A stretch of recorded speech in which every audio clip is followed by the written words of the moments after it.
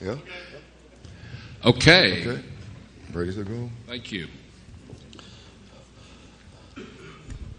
Eight weeks ago, I flew from Washington, D.C. to Birmingham, Alabama. Next to me was a young fellow in his late 20s, and I found out that uh, he spent a year in Afghanistan and a year in Iraq. I asked him whether he had a chance to visit Israel during his R&R uh, time, and he said not exactly R&R, but I'm a member, he said, of the of one of the U.S. Army elite units, and just like every other elite unit on its way to Iraq or Afghanistan, so did I go through four weeks of training in Israel. And I was privy to training by your top experts on suicide bombers, car bombs, and the most deadly element against Americans in Afghanistan and Iraq the IEDs, the improvised explosive devices. And certainly, we were trained by your top experts on urban warfare because just like you, we face very, very different type of human beings, terrorists use human shield. And you have perfected methods to minimize civilian casualties and to maximize protection for counterterrorism. And he concluded by saying that he credits much of the fact that his unit came back to the US without a single fatality to those four weeks in Israel. The following day in Birmingham, I had an appointment with the president of the Birmingham Southern College. The president happens to be retired General Chuck Krulak, former commandant, commandant of the U.S. Marine Corps. And we spoke about Iran and we spoke about Iraq. and then I asked him whether during his service he had a chance to spend time with Israelis and was it helpful to him. He looked at me like a professor looking at a freshman student upon the first day in class and he said, You know nothing about Fort Leavenworth, do you? And I said, Well, all I know is that Fort Leavenworth is a major U.S. Army base. I said, What do you mean, uh, major Army base? This is the intellectual mecca of the U.S. Army. This is where we formulate our battle tactics. And how do you think we formulate our battle tactics if not according to the Israeli book? We follow what you have taught us. And we take advantage of your track record and, exper- and experience. That evening, I was invited to a reception at the home of one of the state legislators in Birmingham. and one of the guests was a retired U.S. Marine Corps. And once again, I asked the same question Did you have any experience with Israelis? I said, What do you mean experience? I'm an officer. And in the academy that I had to enroll to get my rank, we studied urban warfare according to your models. And those were Israeli trainers who taught us. And the model was built by Israelis in accordance with the Israeli experience fighting terrorism in Gaza and to an extent in Lebanon. Because of you, we have been able to fight the way we do in both Afghanistan and, uh, and Iraq. The reality is that in 2013, gone are the days where U.S. Israel relations used to be a one way street. U.S. gave and Israel received with much, much, much gratitude. In 2013, it's a win win, mutually beneficial, two way street between the U.S. and Israel, with Israel playing a larger role by the day, benefiting vital American economic and national security interest. In the early 1950s, Israel was perceived by the vast majority of American policymakers, the so called elite American media, and many in the armed forces as a burden, as a liability. when General Omar Bradley, then the chairman of the Joint Chief of Staff, dared admit that the US underestimated the Jewish muscle and overestimated the Arab muscle, and therefore the US should enhance, upgrade the level of its association with Israel to the level of a major ally in the Middle East. His proposal was not given any hearing, it was dismissed, even I would say with despise. At that time, Iran and, and uh, Turkey were the major allies of the US. By 2013, Iran has been transformed into the chief enemy of the US, while Turkey is straying away by the day from the West and focusing more and more on its Islamic agenda. There was a perception that Egypt could be a major ally of the US, and Alexandria was supposed to become a very friendly home port for the US Sixth Fleet. By now, it seems to me, it requires a great deal of delusion to assume that Egypt is a major ally, whether ruled by the non democratic military clique or by the non democratic Muslim Brotherhood. And certainly the port of Alexandria is at best a question mark. Again, I think for the gullible ones. But realistically speaking, Alexandria is not a home port, an effective home port for the US. And certainly when we look at the Arab tsunami engulfing the Middle East from northwest Africa all the way to the Persian Gulf. And I would add, I would add, you ain't seen nothing yet. Certainly, when we look at the Middle East as it is today, the Arab Street, the stormy Arab tsunami, it has highlighted Israel as the only capable and stable and reliable, effective economically and militarily, the only democratic and foremost, the only unconditional ally of the USA. Not only in the Middle East, by the way, in the world as a whole. To be very, very direct, no one can really take Europe to be an effective ally. They do have the capability, but they certainly lack the will. With Israel, it's both the capability and the will, which has made Israel, the Jewish state, a unique ally of the US in the world at large, especially at a time when the US has chosen to retreat, evacuating Iraq and shortly evacuating Afghanistan, in my mind, under the very superficial delusion that the farther you run away from terrorists, the farther you are from terrorism. And I'm reminded of what a friend of mine, Jim Shope, businessman from Cleveland, told me years ago. You Israelis should study football because in football you learn the closer you are to your own end zone, the closer is the other team to score a touchdown. And if you want to score a touchdown, stay as close as possible to their own end zone. That's how you Israelis should fight terrorism. And Jim has been right. But today, the US administration has chosen to ignore the fundamentals of American football. And certainly at this time, with an American retreat, with a devastating cut of the US defense budget, while the Russians and the Chinese deepen their penetration into the Middle East and beyond the Middle East, with the threats to America intensifying by the day.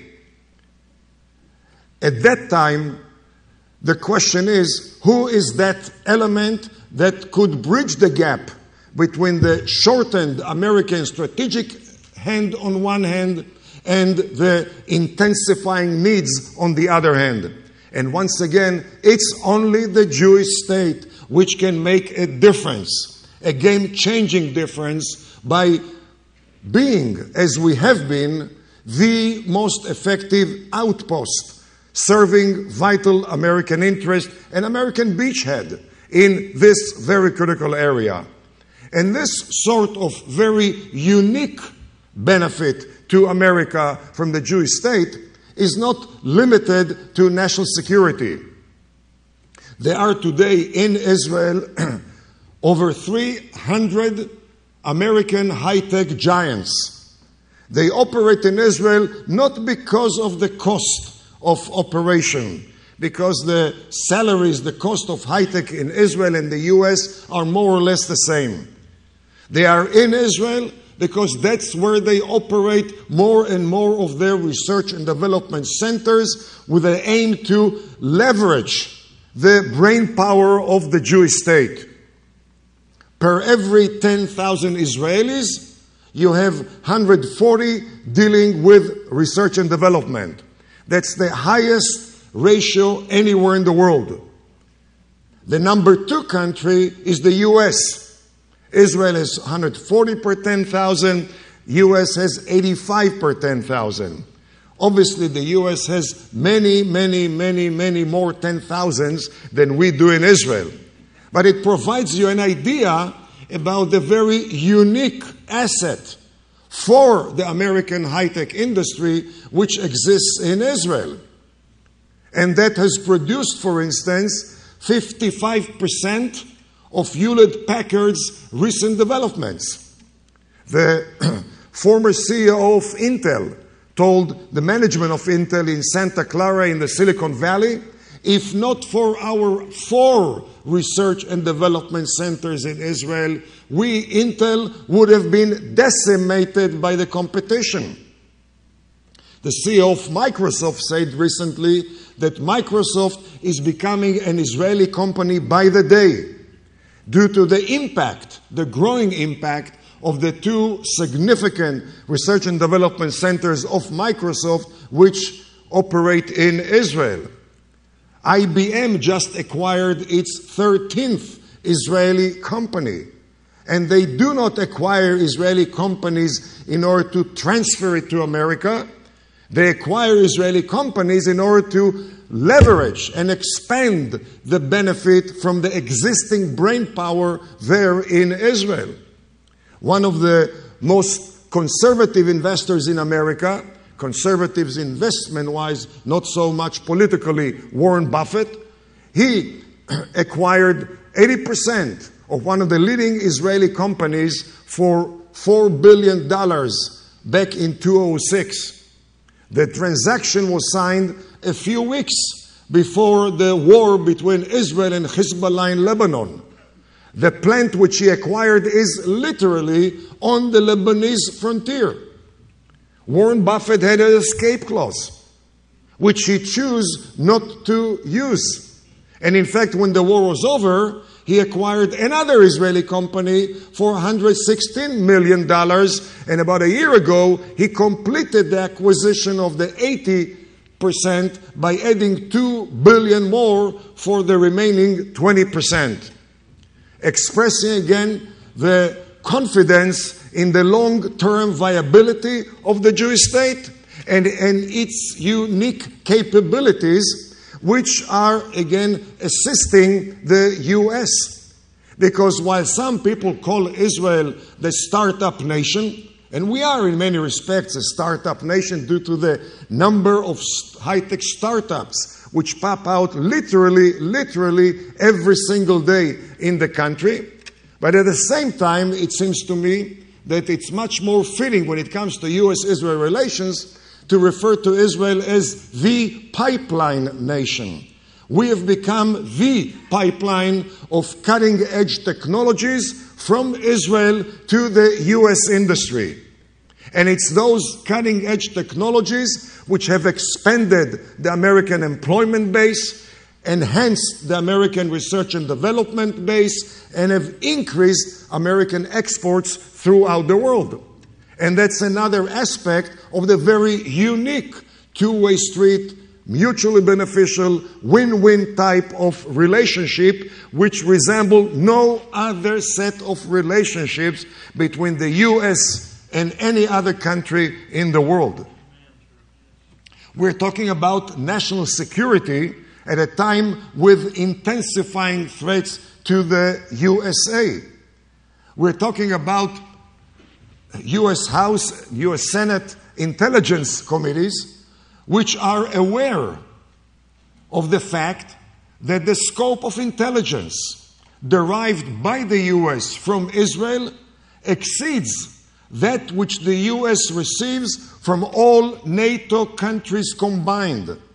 And this is very pertinent intelligence on the issue of the clear and present threat to America posed by Islamic terrorism, its intelligence on Iran's nuclear, and litany of other threats which impact U.S. national security in general and homeland security in particular. We're talking about Israel and its battle tactics, as I mentioned before, and the U.S. has leveraged that battle tactic for many, many, many years. In 67, in the aftermath of the Six Days War, the U.S. sent 15 generals and colonels to Israel to study the Israeli battle tactics, as well as the Soviet military systems which were captured by Israel. At the end of some two months' stay in Israel, they came back with a very heavy volume with lessons which enhanced the American defense industry and American military performance. And therefore, at the end of the Yom Kippur Wars, 1973 war, a team of 50 generals and colonels came to Israel. And this time they stayed for more than half a year.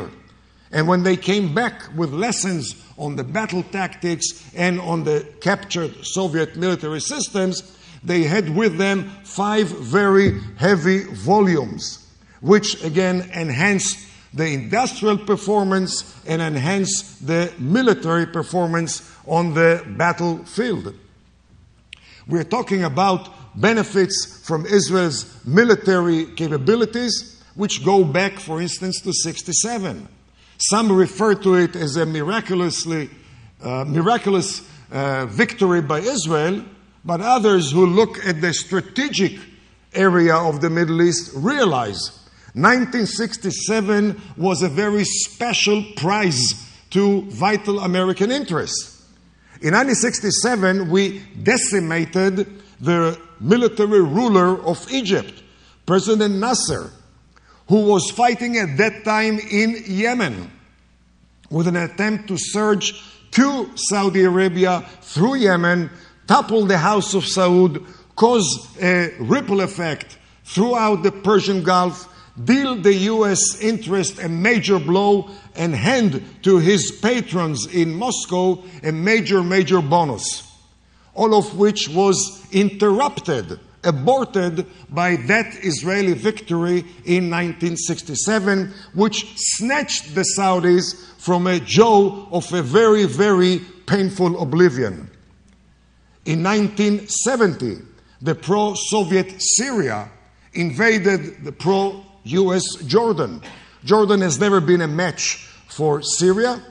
In 1970, US was, no, was not in a, in a position to extend any hand to Jordan due to U.S. involvement in Southeast Asia, Vietnam, Laos, and Cambodia, President Nixon called Prime Minister Golda Meir, laid out the reality of the mutuality of threat to both U.S. and Israel, and within 24 hours, Israel mobilized its reservists to the joint Israeli Syrian Jordanian frontier. The following day, the Syrian invasion was rolled back into Syria without firing a single bullet. Israel's posture of deterrence did the job without requiring a single American boot on the ground.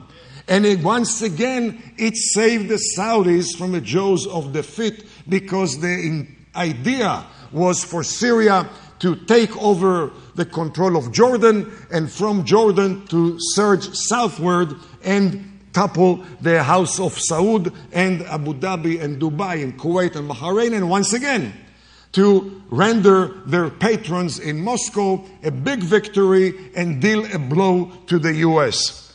That type of operation by Israel also turned around President Nixon, who was not known for his positive attitude towards Jews, and that's an understatement, but also was very, very apathetic to negative on Israel. That show of capability by Israel convinced him that there was one ally in the entire world who was able and willing to snatch the hottest chestnut out of the fire for the U.S., and that was Israel.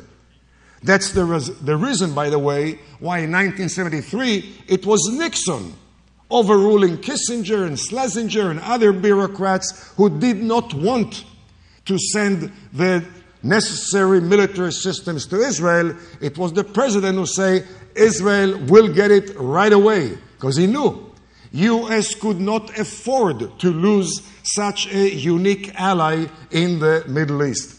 And certainly in 1981, when Israel took on the Iraqi nuclear reactor, we did it in defiance of the US. President Reagan at that time threatened Israel with a military embargo, threatened Israel with suspension of joint military exercises, and with suspension of the shipment of very vital military systems.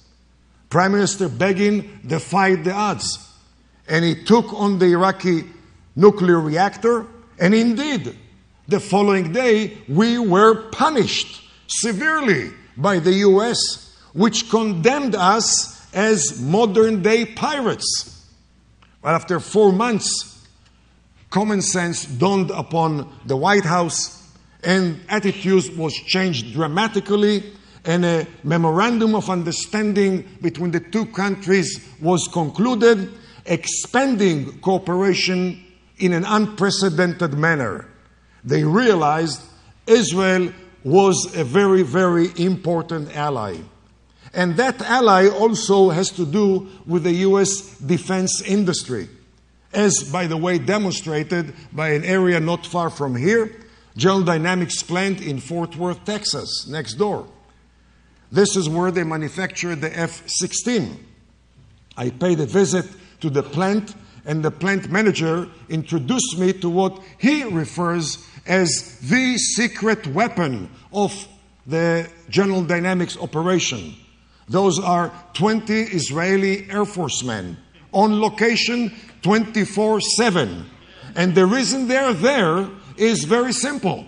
They share with the manufacturer real time, online, every hour of the day. Lessons learned by Israelis, not only flying but also maintaining and repairing and upgrading. And we certainly want to get next time a better generation of the F 16. And as a result, we share our findings with the manufacturer. When I asked the plant manager how many upgrades have originated through those Israeli lessons, he said well over 700. For instance, the firing control 75% based on the Israeli experience. Cockpit 50% based on the Israeli experience. And when I asked him if he could quantify in dollar terms the value of those well over 700 modifications, he said, Well, we never took an account of that, but ballpark, he said, mega billion dollar bonanza to the manufacturer one can assume that a very similar bonanza is the share of McDonnell Douglas, the F 15. One can assume that the manufacturers of the tanks and the armed personnel carriers and well over a thousand military systems which are manufactured in America, employed by Israel, benefit in a very, very significant manner. I remember visiting the office of then uh, Congressman Zach Wamp from Tennessee. I don't know if anybody here from Tennessee who knows uh, Zach uh, Wamp. He was a very senior member of the Appropriations Subcommittee on Homeland Security. Unfortunately, at least from my perspective, he, uh, he uh, was defeated in his uh, race for governorship and gave up a very, very substantial seat uh, for Tennessee and for common sense in the, in, in the House. And we paid a visit. Uh, one of the former Homeland Security cabinet members and myself, we came with an aim to introduce three new, three additional Homeland Security projects which would bind together the U.S. and Israel, benefiting from Israel's experience. And as we entered the office, Congressman Zach Wamp said, Gentlemen, you don't need to say a word. I am an enthusiastic supporter, and let me tell you why. First of all, I'm a firm believer in Judeo Christian values, and you are the Jewish state, so I'm a supporter. Secondly, I'm one of the more valiant counterterrorism legislators on Capitol Hill. For me, Israel is the role model, the icon of countering terrorism. But most importantly, he said, I'm here to serve my constituents. And in my district, he said, in Chattanooga area, there is a Northrop Grumman plant. And that plant manufactures, among others, the robots which neutralize explosives. You guys are the number one customer, but you are a very unique customer because once a week you hold a video conference with the manufacturer and you share with them ideas about improving because unfortunately you use it every single day in Israel.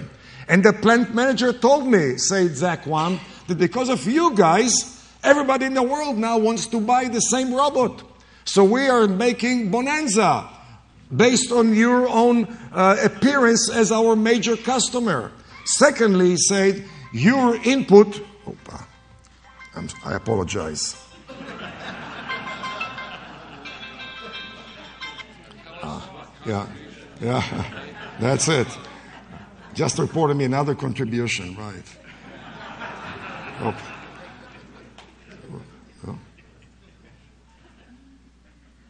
Let me just turn it off. That's it. Okay. Uh, and he said, Because of you guys, we are manufacturing much more in my district. My employment base has expanded. And the plant manager told me, he said, it's not only the research and development, but it would have taken us 20, maybe 30 years. Who knows if we would have ever reached the level of research and development that the Israelis share with us because of the very unique Israeli experience. And therefore, folks, you bring those projects, and I'm going to support them because it's good for my constituents, it's good for America. When we left the office, the Homeland Security minister from Israel asked me, Did you write those talking points for the congressman? And I said, Absolutely not. But if you would spend enough time on the Hill, you would find out this is a typical office on Capitol Hill because most districts in America benefit from the Israeli experience. Some know that, some are not aware of that, but the involvement is growing by, uh, by the day. We're, t- we're talking. Is that a sign that I need to sign off or? I say, okay. Uh, one, one, can, one can go on and on and discussing the litany of examples binding together the US and Israel and the growing role played by Israel benefiting America's economy and national security and homeland security. But it seems to me that the best way to summarize, to summarize the unique role played by Israel is to refer to the late uh, General Alexander Haig, who was Supreme Commander of NATO, who was US Secretary of State, and one of the most ardent supporters of expanded US Israel cooperation. And whenever he was asked, General, how come you're such an enthusiastic supporter of the US Israel programs? And his response was as follows I support expanded cooperation with the Jewish state because Israel is the largest American aircraft carrier, which doesn't require a single American aircraft or boot on board. It cannot be sunk. It's deployed in one of the most critical areas for America's economy and national security. And if there wouldn't have been an Israel in the eastern flank of the Mediterranean, the U.S. would have to dispatch a few more real aircraft carriers with tens of thousands of American soldiers, which would have cost the American taxpayer some $15 billion annually, all of which is spared by one Jewish state in the eastern flank of the Mediterranean. It seems to me that Al Haig's concise, although relatively long sentence is very, very real description of the unique unique contribution by Israel. How, how long do I have, or do I have to sign off? I don't have a wristwatch, I'm sorry. You've got 30 minutes. Ah, okay. The, the reality of Israel's contribution is also enhanced by an issue which is unknown to most friends of Israel, and that is the demography of Israel. The conventional so called wisdom suggests that Jews are Westerners, and therefore Jews multiply slower than third worlders. And Arabs are third worlders, and therefore they multiply much faster than Jews in Israel. And one does not have to be supposedly demographer, statistician to conclude that the only question is when and not whether Israel would become a Jewish minority society. Well, just like many conventional so called wisdoms, this one too has absolutely nothing to do with reality. And just like all other or most other political correct ideas, this too needs revamping. And I would like to share with you some uh, of the facts about that issue because it has to do with the future of US Israel relations. It has to do with the question can we count on Israel on the long run? Will Israel be there, a Jewish state, a qualitative Jewish state, also in 30, 40, 50 years, or will it be transformed into a so called binational state, a minority Jewish uh, state? In a nutshell, we're talking today about a reality whereby the fertility rate, number of babies per average Jewish woman in Israel, exceeds all Arab countries other than three Yemen, Iraq, and Jordan, which are coming down rapidly towards West Europe. And this is not a particular reality of any one country. This is a reality, a demographic reality, which characterizes the entire Muslim world other than sub Sahara. Whether it is the most Shiite country, Iran, or the most Sunni, Wahhabi Arab country, a Muslim country, Saudi Arabia, we're talking about the Europeanization or Westernization of Muslim demographics. In Iran, in Iran, where it was roughly seven, eight babies per woman 30 years ago, 1.8 babies per woman today. We're talking about 2.3 babies in Saudi Arabia, trending towards 2 and below 2. We're talking about 1.8, 1.9 in North African countries, 2.5 in the other Persian Gulf countries. Egypt, where Jihan Sadat tried to bring about family planning and for which she had to protect her life very, very uh, rapidly because of the threats over her life for suggesting family planning. Today in Egypt, 2.9 babies per woman and trending towards two and a half. Same thing in Syria. In Israel, the average Jewish fertility is in excess of three. We're talking about an surge in Israel at a time when the very, very religious Jews, which we refer to as ultra Orthodox or Haredi Jews, are coming down in fertility. Because, irrespective of politics in Israel, the fact is they are integrated in very, very substantial number, more and more, into the employment market. In smaller number, but steadily, they are also joining the Israeli Defense Forces, and as a result, fertility has come down to an extent. But for the first time in Israel, the last 10 years, the secular folks are contributing much more than any time before. The one or two of the yuppies of Tel Aviv, that's the secular capital of Israel, the one or two babies of 20 years ago has been transformed into three or four babies per yuppie, per, which means in our uh, context it means cosmopolitan, liberal, leftist, peacenik, whatever, anti-religious, but between three and four babies per woman, per woman.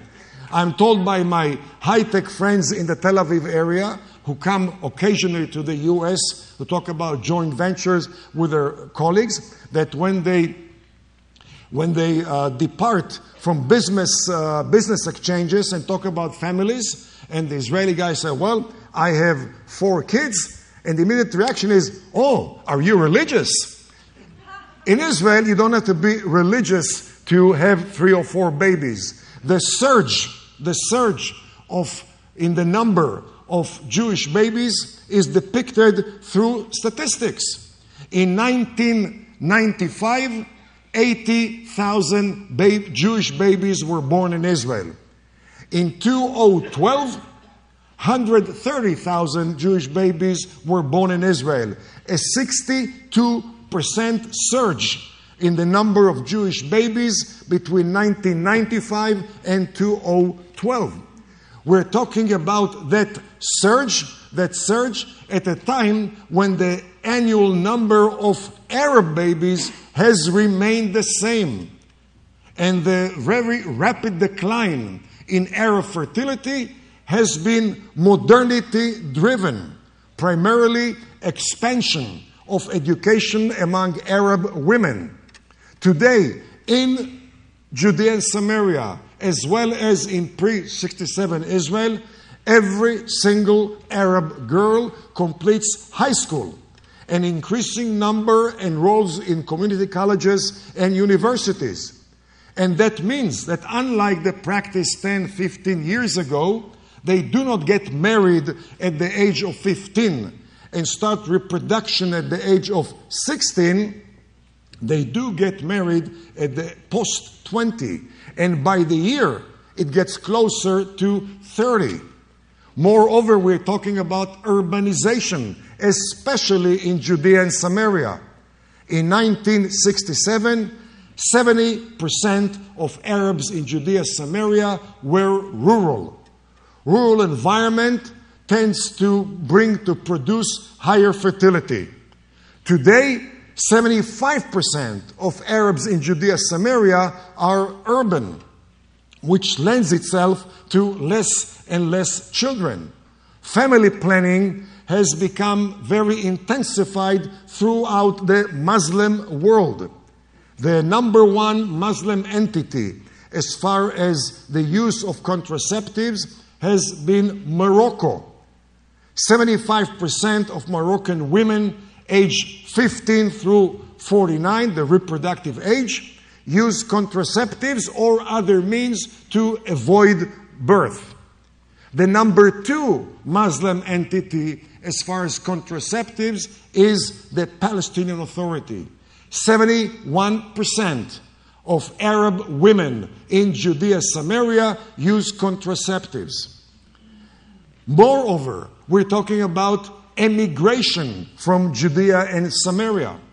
Emigration means almost entirely young people in their reproductive age.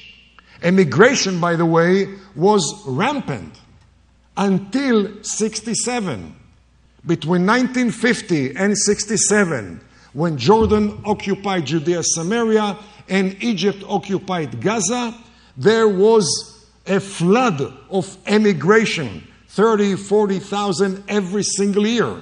Net, net emigration. 67, Israel's control of Judea, Samaria, the so called, the so called oppressive Zionist occupation has brought emigration to a screeching halt. It has brought immigration to a screeching halt because for the first time, somebody built infrastructures in Judea, Samaria, and in Gaza health infrastructures, medical infrastructures, educational and employment, while also facilitating access to infrastructures within the Green Line. As a result, incentives for emigration was reduced dramatically. As a result, infant mortality, which was egregious before 67, trended towards zero, towards the level of the Jewish state. And life expectancy increased dramatically. Employment is available, medical is available, all of which, as I said, brought emigration to a screeching halt.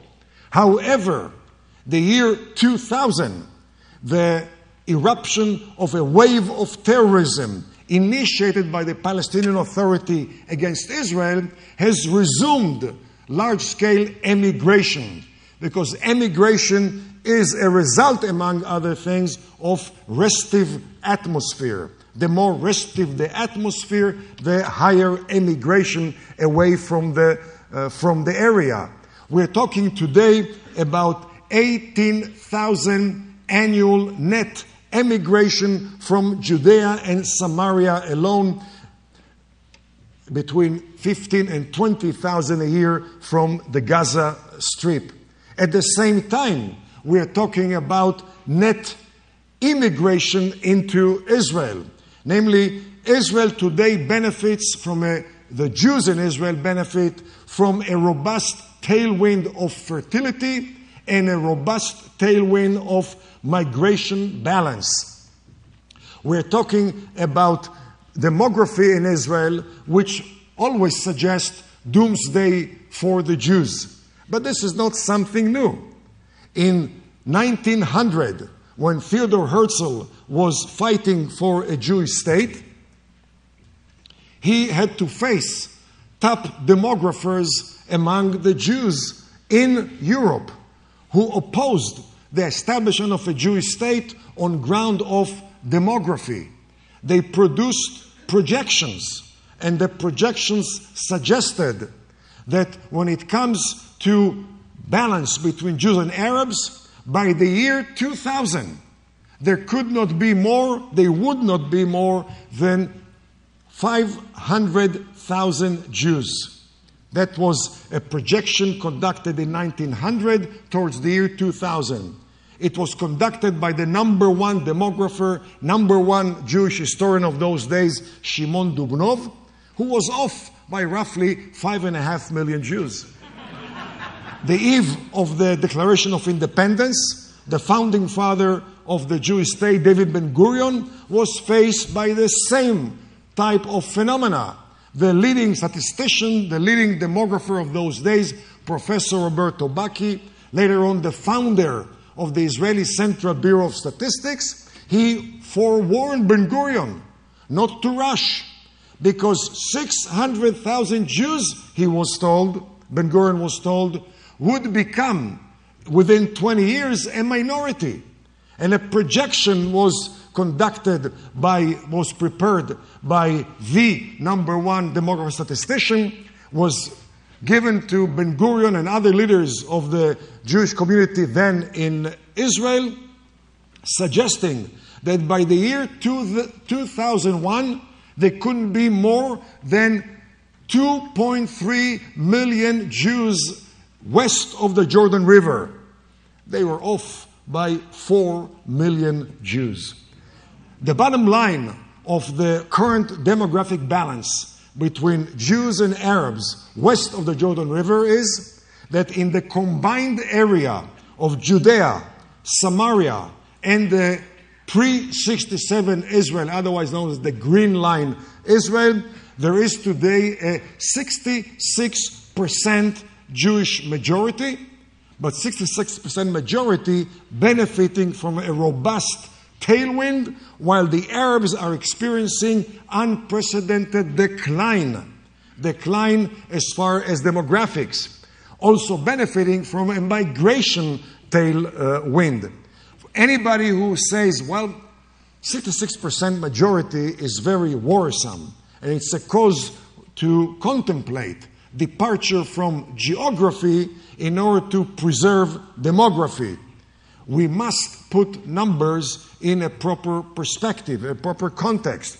And a responsible context does not focus on today, but takes into account the last 50, 100, or hundreds or thousand years, and at least 50, 100 years from today, especially when it comes to a Jewish state.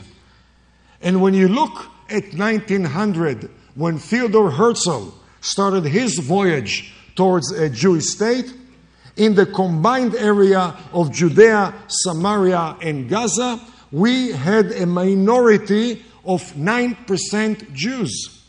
In 1947, eve of Declaration of Independence, in that combined area, Judea, Samaria, and Pre 7 Israel, we had a minority of 39%.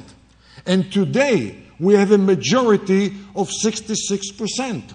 The trend is very, very clear, especially when one looks at the potential of Aliyah currently from Russia, from Ukraine, from Germany, France, England, Argentina, to an extent from this country as well, on ground of economic performance by Israel, on ground of Russia, Ukraine, Europe, Argentina on ground of anti-Semitism, on the ground of Islamic penetration into France and England and Belgium and Holland and Scandinavia, which again eh, has been an enticement for more aliyah to Israel.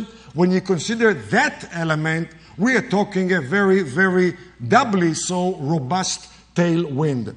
And certainly, anybody who's concerned about 66% Jewish majority should remember the founding father Ben Gurion, when he accepted the partition plan, he accepted a Jewish state within the partition lines of 55% Jewish majority.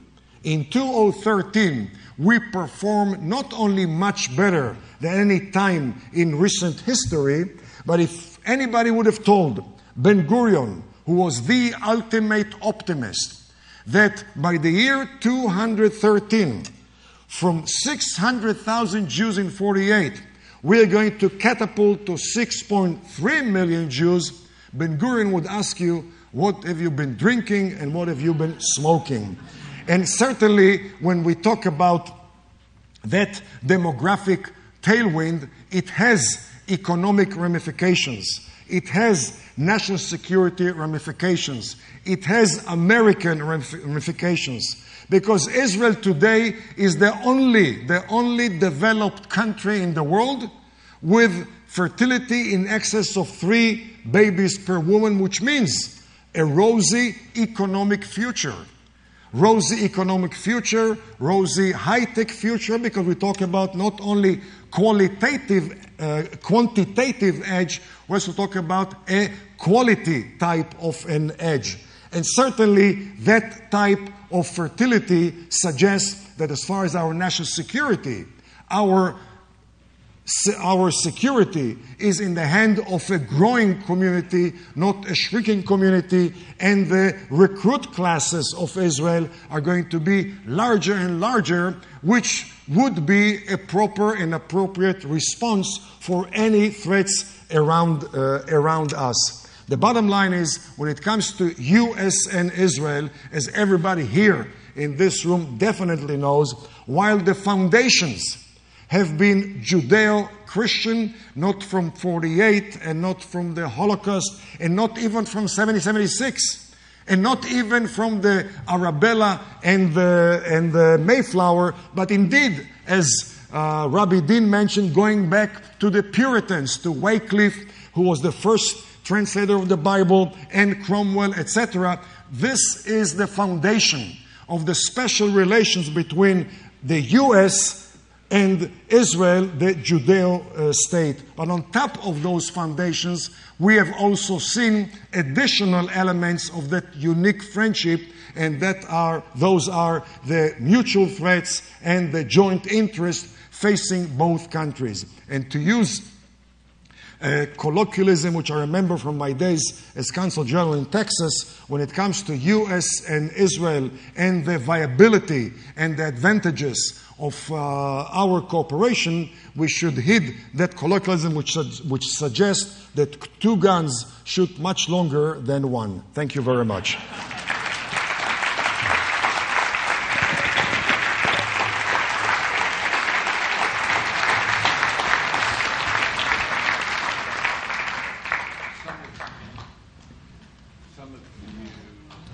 may wonder why he went through this demographic exercise.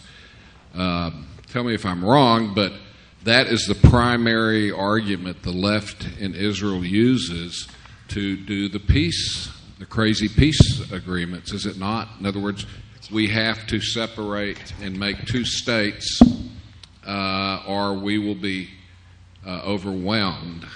And what he's showing is uh, what they what the left assumes to be true is not true, and uh, therefore that removes the major obstacle uh, in, in their minds for having a two-state solution and things like that. So, thank you.